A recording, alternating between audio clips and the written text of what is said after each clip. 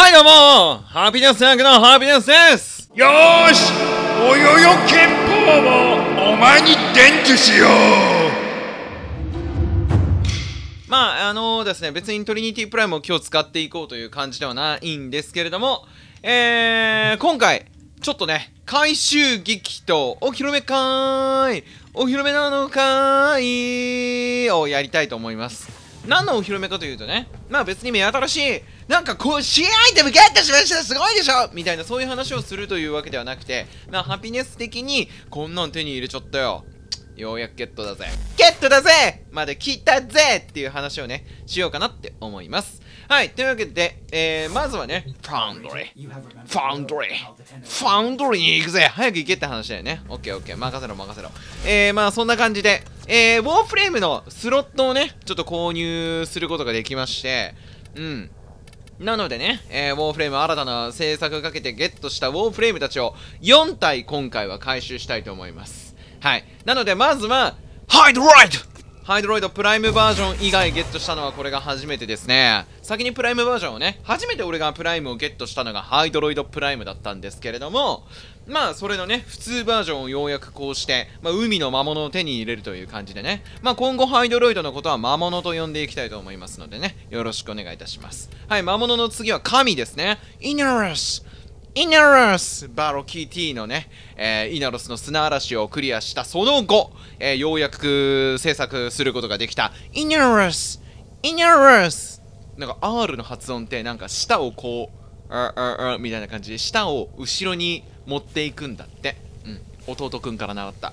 イナロスはい、ゲットしましょう。イナロスゲットというわけで、次なるのは、コラコラ、あ、コラコラ。こいつね、あの、だいぶ前に、えー、サンクシュアリのね、あの、獣だっけ？なんかもう名前も忘れてかけているっていう、もうあれからやってないからね。コーラね、えー、5時間ぐらいかけて最後のパーツを出すということをやりましたけれども、皆さん、サンクチュアリの獣はね、あのー、もうポリシーとかプライドとか、えー、こだわりなんか捨てて、絶対オンラインでやってくださいね。うん、精神的に悪いので、あれ一人でやってると。うん、ウェーブ8いけるかいけないかみたいな瀬戸際でね、うん、ウェーブ7で効率ゼロになって、また最初からやり直してバカみたいなのでね、そんなのでね、もう充実の惨めな休日を送るよりも、充実ある、充実感のある休日を送ってね、えー、パーツ集めをすることをお勧めします。ハピネスの経験談です。はい。では、コーラ、えー、ゲットしていきたいと思います。はい。続いてる、ロッキーロッキー、ロッキーロッキー、パパンパーン。パッパンパーンって音楽を流しながら、えー、姿を消すロッキーですね。トリッキーなロッキーです。プレイを好むプレイヤーの要望に応え、敵を翻弄する能力に特化している。なるほど。ローキのアビリティに備わった想像力は敵を欺む。オッケー。あー嘘でしょ？俺4つ買ったじゃん。あ、3つらしいのでね。まあ、後で課金しときます。今めんどくさいので。うん。いちいちスロット言って、ついて、編集するのもめんどくさいのでね。はい。オッケーです。じゃあ、とりあえず、まあ、新しいね、フレーム、レベル上げながら、えー、また課金してね、スロット買っておきます。はい。というわけで、えー、ハイドロイド先生、見てみましょう。わお。いや、もうなんか顔が魔物ですよね。うん。太ももがやべんだ、これ。すごいことになってますね。あ、意外にね、この、ちょっと今バロ吉来てるんですけれども、そうそうそうそう。プロババンダル、手に入れました。はい。プロババンダル。買いました。あとね、あの、バイ、バイパーレイス。これも売ってたのでね、手に入れました。あの、侵略ミッションで、バイパーレイスの、あの、ツインバイパーレイスみたいなのもあるのでね、あと一つでパーツが揃うので、まあ、このバイパーレイスシリーズはもうじきコンプできそうな感じがしますね。はい。で、あとね、レイス系のちょっとくだりでもう一つ報告しておきたいのが、えー、えー、と、プライムですね。プライマリーですね。プライムじゃない。えーと、プライマリーで、今、このスタンレイス、うまい具合に侵略ミッションでパーツがポンポンポンポン出てきてくれて、あと0.1%で侵略ミッションが終わってしまうみたいなところでね、あの、スタンレイスのレシーバーを回収することができたので、まあ、なんとかね、まあ、あと11時間と3分6秒ですね。えー、これで回収することができました。はい。まあ、あとちょいちょいね、いろいろレース系はあるんですけれども、まあ、パーツがね、こう来てくれないと、うん。どうにも手に入れられないものばっかりなので、はい、さっき話してたのこれですね。あと、リンクさえ来ればね、最高ですね。はい。あと、レックスプライムも、今ちょっとついでに言っちゃいますけれども、レックスプライムも、あのー、ツインレックスになってくれれば、設計図さえあれば、もう完成フラグですね。うん、あとブロンコもね、もう時期できるって感じですけれども、ブロンコは、えー、レア枠が手に入れるのが大変だって魔物も言ってますね。オッケー。で、魔物と、あと、えー、こちらですね。イナラスイナラスあ、どこ行ったの？オッケー。イナラスすっごいかっけー。こいつはシールドという概念がないらしいですね。ヘルスのみで耐えるみたいな。うん。すげえよななんかイナロスでさ、めっちゃかっこいいモーションなかったっけ？なんかあったよね。イナロスモーションで。イナロス、イナロス。どれだっけ？これだっけ？違う。あ、そうそうそう。このモーションがめっちゃかっこいいなって思うの。このなんかいびつな感じ。うん。すごくない？あともう一個は棺桶に入ってるみたいなやつでしょ？あのなんか、吸血鬼みたいなやつでしょ？これでしょ？ほらほらほらほら。かっこいいよねこれはね、イナロスはやばい。うん。で、まあ、イナロス、俺多分このモーションでしばらく行くと思う。めっちゃかっこいいんだもん、これ。このなんか、こんな格好なのにめちゃ強いですよ、みたいな。まあ、こうやって武器を持ってると大丈夫っていう感じにはなるね。あと、コーラやったぜって感じだね。コーラようやく来ました。さあ、まあこれは完璧本当に今一番新しいフレームですね。今度なんかサンクチュアリじゃねえや。サンクチュアリじゃねえ。あのー、サクリファイスっていうね。あれ？それ、あれだっけ？クエスト名だっけ？うん。なんかね、あのー、新しいフレームが来るらしいですね。うん。生放送でも散々話題に上ってね。まあ期待大のやつですけれども、もう PC 版は早くも実装されたそうなので、PS4 も2週間後ぐらいに来るんじゃないかという話ですね。はい。では一応アビリティ読みましょう、コーラ。さて、第1アビリティが、つんざくようなムチ打ちで敵をよろめかせる。ほう。えー、第2アビリティ、不運な敵を、なんかもう DE さんの説明が面白いな、これ。不運な敵ってもう前提だもんね。前提条件不運みたいな感じだよね。不運な敵を生体道で捉え、近づきすぎたものも絡めとる。なるほど。近い近い近い。絡めますよ。みたいな感じだね。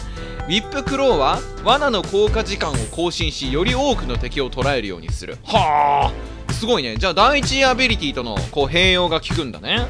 なるほどなるほど。ベナリに狙う標的を命令するあのー、あれだね。クブローかな？キャバットかあれは。うん。キャバットのなんかメタリックバージョンだね。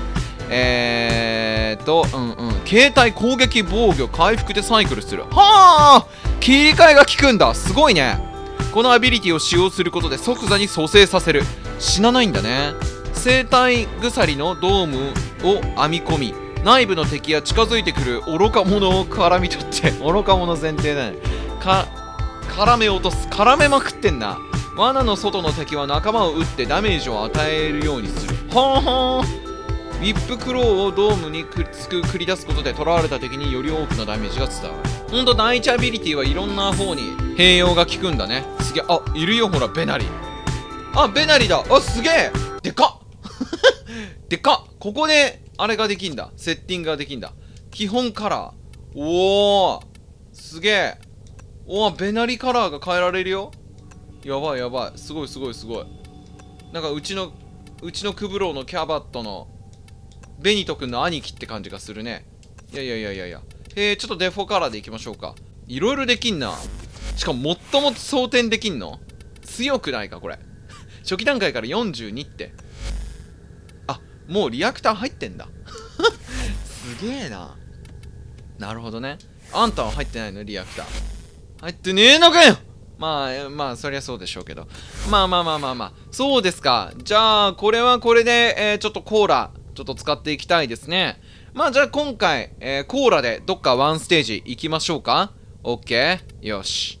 じゃあアップグレードさせて、早速成形マップへ向かいましょう。はい、とりあえずですね、えー、まあ、えー、コーラの方、シールド容量を上げて、で、ベナリ君かベナリちゃんかちょっとわかんないですけれども、オスかメスかわからないですけれども、まあとりあえずね、えー、っと、まあヘルス上げたり、攻撃力上げたり、敵にね、まあ、ちょっととぼうちにしろよ、おらみたいな感じのね、能力を付与しておきました。ので、えー、ちょうど2ターンが来ております。なので2ターン抽出物、傍受ミッションですけれども大丈夫って心配しながら、コーラ姉さんで行くとしましょう。武器も中途半端、育成中の武器なのでね、ちょっと心配です。ステージが彗星であることだけが救い。こらー！何やってんのもうすでにいるわ。でかっ。めっちゃでかいっすね。よベナリおおすげえ。ほんと技が選べんだ。でもこれアビリティがアンロックされてる以上。間違えて俺第一アビリティ使ったな。ベナリのヘルスの位置がめっちゃかっこいいんだけど。ありがとういやーすごいね。切り替えられないよね今ね。ほら丸ボタン使えないもんね。よし行こう。なんかコーラなんかトゲがやばくないですか？なんか戦場に出て。どうしたの？このトゲはどうしたの？なんか結晶状態になってるけど。やべえ心強いね。ベナリ行くよ。めっちゃ足速くしてます。行くよ。で開けてくれる系？ありがとう。ベナリすごいな。ベナリめっちゃ戦うね。行くわよ。あなんでこんな遠いとこからか。まあまあいいや。オッケー。よし。これちょっと育成中の武器よ本当に。ただ28レベルのねスプラバンダルにかけるって感じですね。あのゲージは何だろう？あのトゲのゲージ。トゲがどんどん大きくなるとかそういう感じかな。なんか怖いな。ベナリ頑張れ。ちょっとアビリティを使いたいんだけど。第1アビリティ。オッケーよし時計回りで回ってれば勝てる。大丈夫。第2ラウンド勝つだけだよ。ベナリ頑張れ。なんかベナリありがたい。おすげえ。ホップシホップシすげえすげえすげえ。これめっちゃレベル上がりそうだな当時だから。おベナリめっちゃなんかえなんか生き物じゃない動きをやってる。いやまあすげえな。なんだ今の。うねうね動いてたね今。魔物？魔物かっって。それはハイドロイド先生だけど。オッケーオッケー。ホップシホップシいいね。無知の音いいね。なんかちょっと S 系たっぷりですね。もっと来なさいって。これは姉さんだもんねオッケーオッケーそういうキャラでいこうか。オッケーじゃあ出てくるときは毎回もっと来なさいっていうセリフを吐けばいいんだね。オッケーオッケーオッケーかっこいいね。はい。ちょっと第2アビリティ今回使えないかな。無理か。まだ覚えてくんないか3レベだっけ？覚えるの。いいねベナリベナリ頑張って。ちょっとお前にかかってるわ。うん。よそにいる敵をどんどん倒して。ベシベシやるぜって。無知の武器が映えるね。コーラ姉さんで。やるといいね。楽しいね。てか走行はあんまなさそうだけど大丈夫かな？ちょっと心配だわ。ヘルスがねそんなにまあ初期だからあれだけど高いのか低いのかがちょっと分かんないから。そうそうそうそう。ランクアップ。何が？何のランクがアップよ？まあコーラなんだろうけど。何のランクがアップしたか出てなかったからびっくりしたよ。OK 全部回収したね。OKOK じゃあ随時取られそうなとこからやっていくって感じかな。点滅したらそっちに向かいましょう。これ効率高めれば第一アビリティだけで結構戦える気がするんだけど。初期段階でめっちゃ強くない？これ。BBBBBBB ベナリやばい。取られるぞ。ホップシホップシオッケー。よしよしよし。オッケーオッケーオッケーオッケー。よしよし。大丈夫大丈夫。まだ大丈夫。まだ余裕。いやー第1ウェーブからこの状況は楽ですね。うん楽に越したことはない。ホップシオッケー。ホップシマン！かかってきなさい。あベナリだった。危ねベナリに下手したら攻撃そうなのこれダメージが通らなくてよかったって感じ。てかベナリがめっちゃ戦ってくれんだけど。左遷。っつって。いやそんなキャラかどうかは分からないけど。左遷も。なんか BBBBBBBBB B をガードに行け。そこかよお兄さん。こっから出てくんだずるいマジで。よしオッケー余裕だぜ。ベイベー。よし。オッケー守り統制守り統制このウェーブいいね。ちょちょちょちょちょちょちょあんたたち私の目の前でやりすぎでしょ。オッケーオッケーどんどん進出せよ。オッケー2箇所同時に来られたらやばいやつ。ベナリー！ベナリーやばい！あー D だった。D 大丈夫大丈夫。ベナリーごめん。俺が間違えた。俺が立ち去ろうとしてた。俺がバカだから。バカだから。バカだから。あ俺がバカだから。あの決勝のゲージは何やったら上がんだろうね。全然わからん。そうそうそうそうそうそう。後からね情報収集して楽しんでいこうや系だから俺。オーケーあすげえ地図上でもベナリのきちんとベナリのマークなんだねなんかいつもコンパニオンとかはねあの丸っぽっちマークになってるけどちゃんとベナリマークになってるねどこどこコンソールこれどこどこコンソールこれそこかよやめてよし勝ったバカじゃねえの危ねえなビビらせんな変な規制を最後の最後に意味もなく上げさせるんじゃないわよちょっとちょっとちょっとちょっとベナリ頑張れめっちゃ攻撃していいよしかもすぐ蘇生されるっていう能力を持ってるのがまたずるいですよねベナリちゃん。ベナリ。オッケーよし。2ターンのために頑張りましょう。2ターン。いやあの第1ウェーブはコーラで戦って第2ウェーブは俺魔物で戦いたいんだけど。ダメ。そういうことはダメ。オッケー第2アビリティ覚えた。よし。使っていきましょう。第2アビリティ。なんかやばいやつでしょ？なんかすごいねこのトゲマジででかくなっていくのかな？来た？来た？来た？奴らすぐ近くまで迫っている？オッケーちょっと敵がたかってきたらやりましょう。オッケーオッケーオッケーオッケーよしよし。いいね。コーラ足が速いのが似合うね。ラッシュをつけて正解だ。よしオッケーあー死んでない。パンチするぞてめえ。近くに寄ってくるとパンチするぞ。俺の拳が痛む。いやお。オッケーちょっと使うタイミングがないね。ていうかベナリが結構第3アビリティみたいな感じで結構強い系のやつなんだね。すごくない？あの人。人じゃないけど。キャバットだけど人じゃないよ。キャバットだよ。上がってこいよ。ねえ敵がいない。やばいやばいこれは。ちょっとやばすぎる。えもうもう4つ取った？よしオッケー余裕ですね。敵はどこにいるの？いなさすぎない？オッケーオッケーオッケー第2アビリティ。